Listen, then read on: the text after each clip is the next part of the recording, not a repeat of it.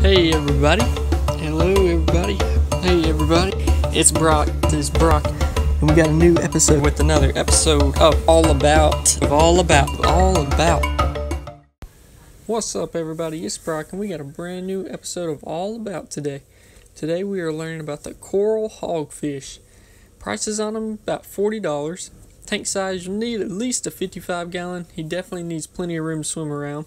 Care level, he's really easy. Temper, he can be very aggressive. Reef compatible, yes, whenever he's younger, but definitely not whenever he gets older because they eventually just see coral as food.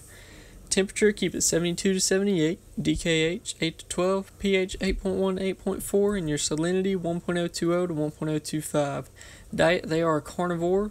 As a young, they might need little frozen food, flakes, pellets, things like that. But as they get older, they pretty much turn into a predator and they can eat anything from clams on a half shell to little bitty pieces of shrimp and even smaller fish. Max size, they can get about 8 inches.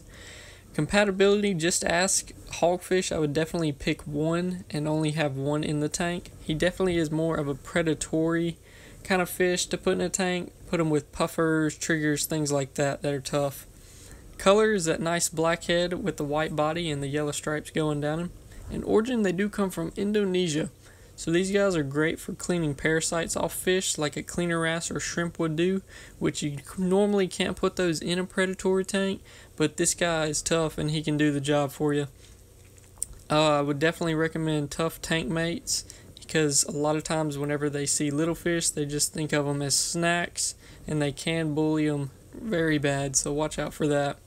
And one good thing about him is he's always out and swimming. He is definitely up for the attention. he loves some food. But that's it for the coral hogfish. He's super easy to take care of, but I would definitely recommend putting him in a fish only tank with some tough fish. Hope you all have a good day. Make sure to like and subscribe, and I will see y'all later. We just hit a thousand subscribers. Thank y'all so much. I love y'all. I can't thank y'all enough from that. All started out with me just working in the fish store with an idea to let everyone know how to take care of some fish. And here we are, a thousand deep, and it feels great. So, to celebrate, for the whole month of June, every single day, I'm gonna put out a new episode of All About about some kind of fish, some kind of crustacean, maybe different things on how to take care of stuff. But just either way, every single day, you're gonna be getting a video from me, and it's gonna be awesome. Maybe even more videos.